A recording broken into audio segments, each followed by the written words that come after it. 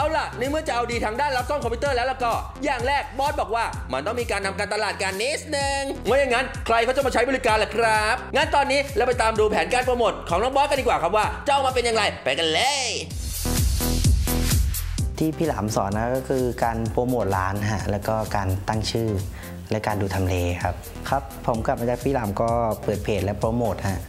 โปรโมทผ่านใบปลิวแปะป้าย ในมหาลัยหรือว่าละแวกใกล้ ๆ หรือว่าคนรู้จักค่ะ และตัวผมเองก็กำลังเรียนอยู่ทำการตลาดเสร็จเรียบร้อยแล้ว มันก็ต้องซ่อมคอมกันแล้วครับคุณน้องครับ งานนี้น้องบอสจะเจออุปสรรคอะไรบ้าง และลูกค้าแต่ละคนนั้นจะมีปัญหากับคอมพิวเตอร์อย่างไร และความสามารถของน้องบอสนั้นจะซ่อมได้หรือไม่ ไปดูกันเลยครับ เคสแรกนะฮะที่ที่ได้ซ่อมก็คือ มีการโทรเข้ามาสอบถามก่อนว่า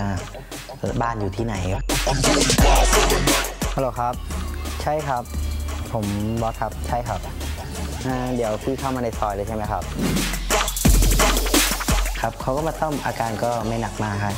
เขาบอกว่าแค่ว่าเครื่องช้าฮะก็เลยทำการลงวิดีโอให้ใหม่ แล้วก็ทำการเพิ่มเรมครับ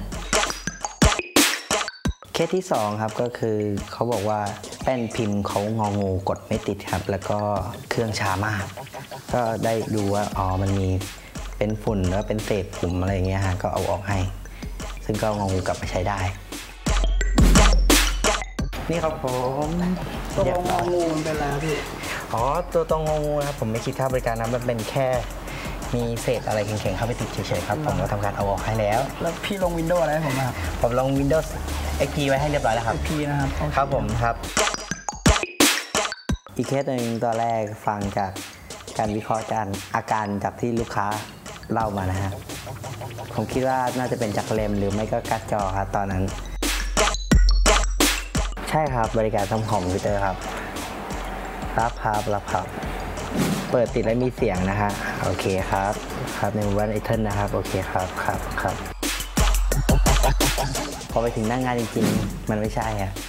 ตอนนี้มันยากกว่าที่จะเป็นเลมหรือว่าเป็นการ์ดจอนะฮะตอนนี้ผมคิดว่าเป็นเป็นเมนบอร์ดแล้วฮะที่เสีย อาการเป็นไงบ้างครับตอนนี้พอพอผมเปิดเครื่องมา มันมันดัง มันดังติดติดติดเลยผมก็ไม่ไม่มีอะไรทำโอเคครับงั้นเดี๋ยวผมขอตรวจเช็คเครื่องดูก่อนนะครับก็ได้ได้คือแก้ปัญหาหน้างานไม่ได้นะตอนนั้นเราไม่มีอะไรพอที่จะไปแก้ตอนนั้นได้เลย เลยต้องเอานำเครื่องมาทำที่บ้านฮะเดี๋ยวก็ทำการเปลี่ยนเป็นบอร์ดให้กับลูกค้าฮะแล้วก็เดี๋ยวจะส่งเครื่องให้กับลูกค้าอีกทีหนึ่ง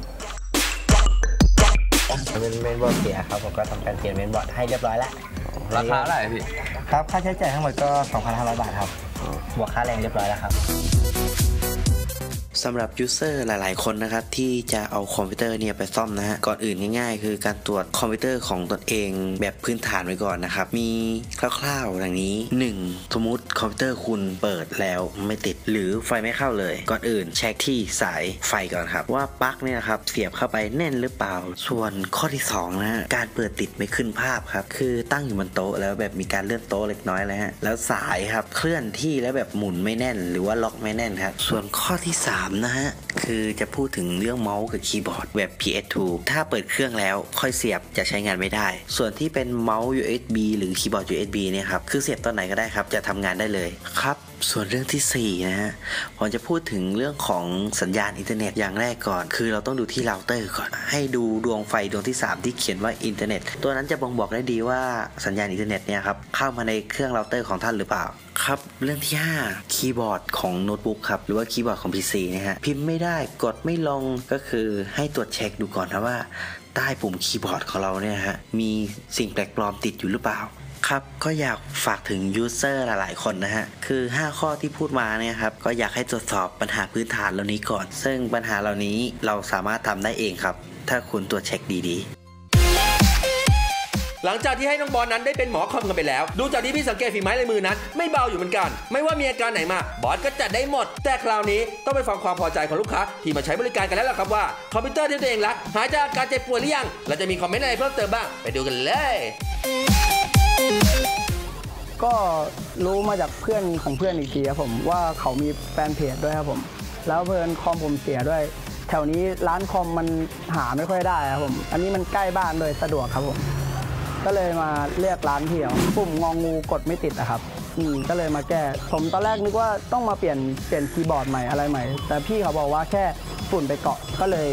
ปัดปัดให้เฉยก็ใช้ได้ครับ ถือว่าถูกมากเลยนะครับผมพราะแก้แก้ไปเยอะแล้วก็ อะไรต่างๆนานา300 บาทถือว่าคุ้มค่าครับขอ๋อพอดีผมเห็นใบปลิวอยู่ในมอครับ ที่มหาลัย ผมก็